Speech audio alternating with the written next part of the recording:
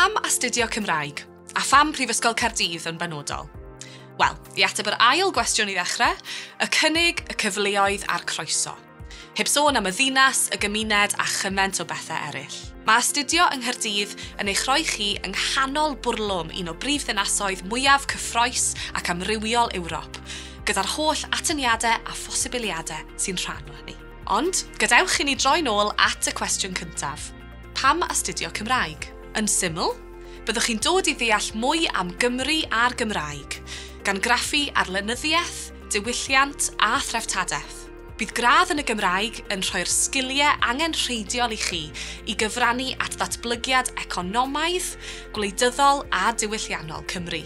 Arwyddau'r yr ysgol yw creu pobl sy'n creu newid, ac rydyn ni wedi ymrwymo i greu a chynnal newid er bydd iaith, cymdeithas a hunaniaeth yn y Gymru gyfoes, ac i alluogi'n myfyrwyr i chwarae i rhan nhw yn llunio Cymru'r dyfodol. Os fyddwch chi'n ymuno â ni yng Nghaerdydd, byddwch chi'n dod yn rhan o gymuned glos ac agos atoch chi, lle mae staff yn nabod eich enwau ac yn cymryd yr amser i ddarganfod eich diddordebau chi, eich uchelgeisiau chi a'r pethau eich chi'n angerddol drostyn nhw ac maen nhw yno i chi ar hyd bob cam o'ch llwybr gradd a thu hwnt. Rydyn ni'n hynod falch o'n cynfyfyrwyr a'i llwyddiannau, a byddwn ni yr un mor falch o'ch cyrraeddiadau chi yn y dyfodol hefyd.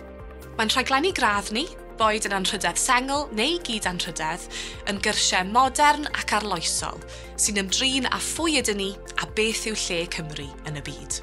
Mae ein staff yn arbenigwyr yn ei meisydd, ac mae'n cwricwlwm a'r modiwler yn ni'n ei cynnig ar draws ein rhaglenni gradd yn seiliedig ar ddiddordebau ymchwil staff. Mae gennym ni arbenigwyr ar lenyddiaeth Gymraeg mewn meisydd a chyfnodau gwahanol, megis llenyddiaeth ganoloesol, theori lenyddol, astudiaethau cyfieithu, llen plant ac ysgrifennu creadigol. Mae'n darlithwyr mewn ieithyddiaeth, sosio-ieithyddiaeth a thafodieitheg yn edrych yn fanol ar sut, pryd a pham y mae gwahanol fathau o bobl yn defnyddio'r iaith Gymraeg. Ac mae gyda ni arbenigwyr ar bolisi iaith a chynllunio ieithyddol hefyd. Rwy'n ni'n croesawu myfyrwyr iaith gyntaf ac ail iaith i Ysgol y Gymraeg, ac yn cefnogi a sicrhau datblygiad pawb yn ystod y flwyddyn gyntaf i daclo gofynion ein rhaglenni gradd.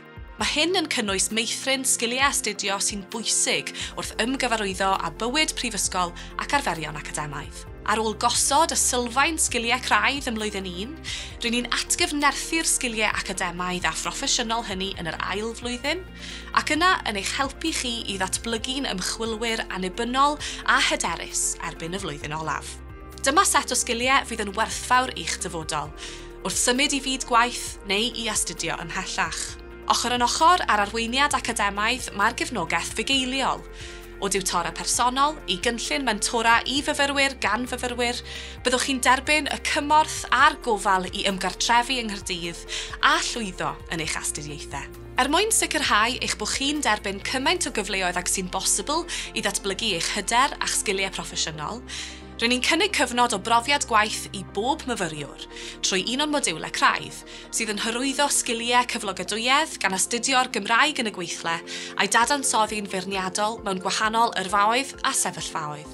Mae modiwlau dewisol eraill gyda phwysles proffesiynol yn rhoi cyfleoedd i gael mwy o brofiad gwaith a'r posibilrwydd o weithio gyda mentor proffesiynol. Mae'r lleoliadau profiad gwaith rydyn ni'n ei cynnig yn amrywio ar draws y sector gyhoeddus, y sector breifat a'r drydedd sector. Diolch i'n cysylltiadau agos gyda gwahanol sefydliadau a chwmnïau. Gyda chefnogaeth a gwasanaethau tîm gyrfaoedd y Brifysgol, byddwch chi'n gyflogadwy iawn ar ôl graddio. Mae canrannau cyflogadwyedd yr ysgol o arolygon cyrchfannau graddio ein cynfyfyrwyr yn gyson uchel, ac mae'n cynfyfyrwyr yn mynd i weithio mewn sectorau a rolau amrywiol iawn. Mae graddedigion Ysgol y Gymraeg i'w cael o lywodraeth i addysg, o'r cyfryngau i'r celfyddydau, o'r gyfraith i gyfieithu ac o newyddiadureth i gadwraeth. Ymysg carfanau diweddaraf ein graddedigion, Mae cynfyfyrwyr wedi mynd i weithio yn Llenyddiaeth Cymru, Cwmni Cynhyrchu Boomerang, Cwmni Cyfieithu Prisg, y BBC, y Senedd, yr Urydd a Mentrau Iaith Amrywiol.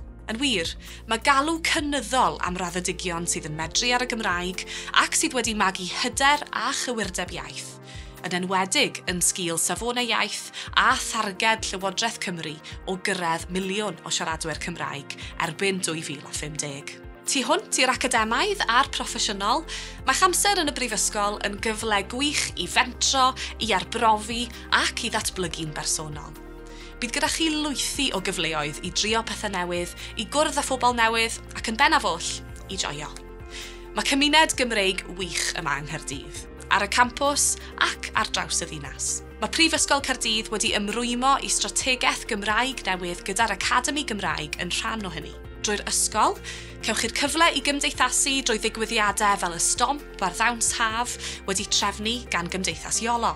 Drwy undeb y myfyrwyr, bydd gyda chi swyddog Cymraeg llawn amser a'r enwog gymgym, sydd yn cynnal tripiau a nosweithiau cymdeithasol ar gyfer cymuned Gymraeg y Brifysgol Gyfan, ac sy'n sail i atgofio'n hapusaf nifer o gyn fyfyrwyr. Neu, cewch fod yn rhan o gyfryngau myfyrwyr Cymraeg Cerdydd sy'n cyfrannu at Tafod, Adran Gymraeg gair Rhydd, Papur Newyddion y Myfyrwyr, a rhaglenni ar orsaf radio'r Brifysgol Express Radio. Os ych chi'n hoff o ganu, cymdeithasu a chystadlu, gallwch ymuno ag aelwyd y Wain Ddyfal. Mae cyfle hefyd i fyw mewn fflatiau Cymraeg yn ystod y flwyddyn gyntaf. A chyda thwf yng nghymuned Cymraeg y ddinas, gyda rhyw gan mil o bobl yn siarad Cymraeg, mae digwyddiadau Cymraeg a lleoliadau fel Clwb Ifor Bach, Theatr y Sherman a Chanolfan Chapter yn golygu bod y profiad Cymreig yng Nghaerdydd yn un byrlymus a bywiog.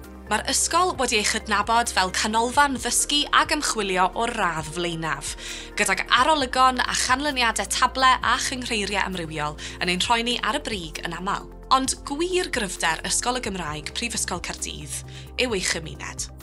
Y staff ymroddgar ac arbenigol sy'n llunio profiad addysgol heriol o fewn awyrgylch cefnogol ac ysgogol, a'r myfyrwyr talentog angerddol yn dod ynghyd. Dwi'n gobeithio'n fawr y cawn ni'r cyfle i'ch croesawu chi i'r gymuned honno yn y dyfodol agos.